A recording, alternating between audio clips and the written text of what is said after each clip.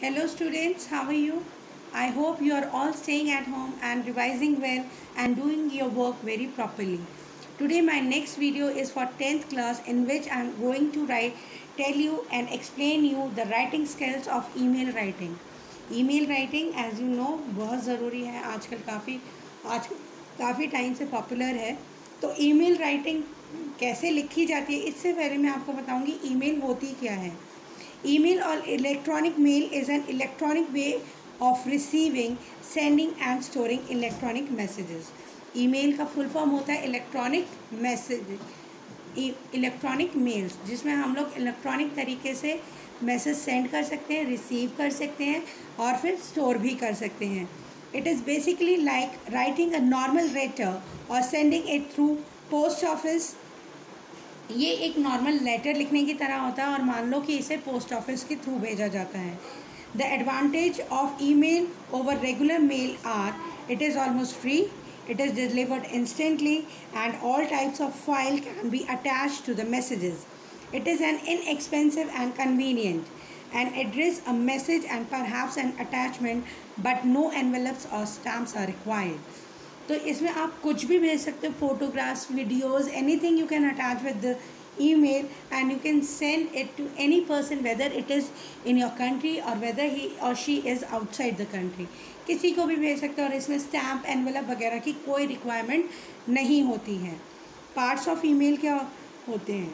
Parts email address it has two parts your user I D मतलब आपका email address and the identity of the email service यानी कि साथ ही साथ आप कौन सी सर्विस कर रहे हो? गूगल कर रहे हो जी मतलब जी कर रहे हो याहू कर रहे हो, या ट्विटर कर रहे हो, जो भी आप यूज़ कर रहे हो।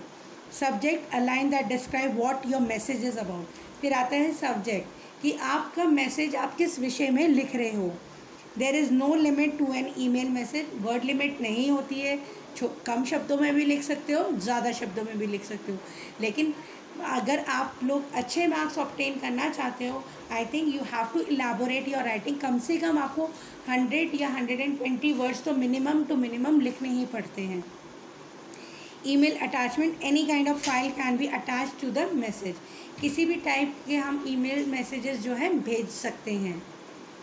Guidelines for writing and email मतलब क्या क्या चीज़ें हमें ध्यान में रखनी है ईमेल लिखते समय? Be careful to spell the address right address लिखते समय स्पेलिंग को चेक करना बहुत ज़रूरी होता है। Don't type in all caps it is interpreted as shouting जब भी आप ईमेल लिख रहे हो तो उसमें कैपिटल लेटर्स का प्रयोग कम से कम करें। ऐसा लगता है कि मानो आप चिल्ला के बोलते हो। Press the send button when you have written the message जब सेंड बटन तब भेजना चाहिए जब आपको कोई मैसेज भेजना हो। Your name appears automatically in the from box write the email address of the person you wish to send the email to to box. From में अपना अपना एड्रेस लिखना होता है टू में उसका एड्रेस लिखना होता है, जिसे आप ईमेल सेंड कर रहे हो।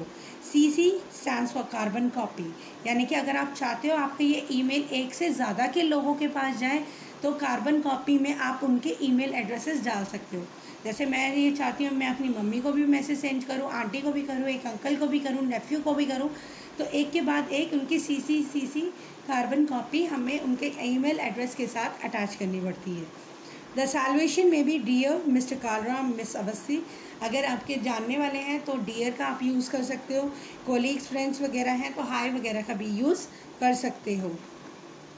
तो kids this was the guidelines to write an email now I am going to tell you the format of email what is the format of writing an email first of all comes the date सबसे ऊपर आपके left hand side पे date आती है फिर from यानी कि Sanders email address जो आप लिख रहे हो तो आपका एड्रेस आएगा या जो भी कोई भेज रहा है उसका एड्रेस आएगा रिसीवर ईमेल एड्रेस टू वाले सेक्शन में जिसे आप ईमेल भेज रहे हो, उसका एड्रेस आएगा सब्जेक्ट रीज़न फॉर राइटिंग क्यों लिख रहे हो? ये आपको उसमें मेंशन करना ज़रूरी है।